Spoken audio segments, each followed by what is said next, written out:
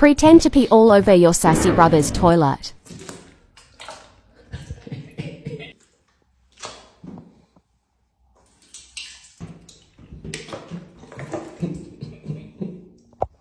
What the hell has happened in here? What? You are a dog! Are you what? You are disgusting. Do you even drink water?